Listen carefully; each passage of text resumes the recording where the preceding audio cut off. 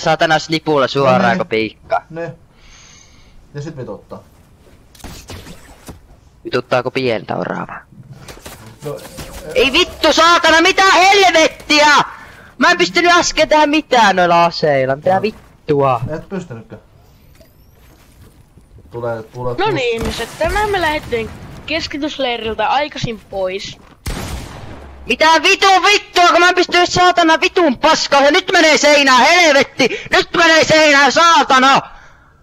Vittu! Haist vittu!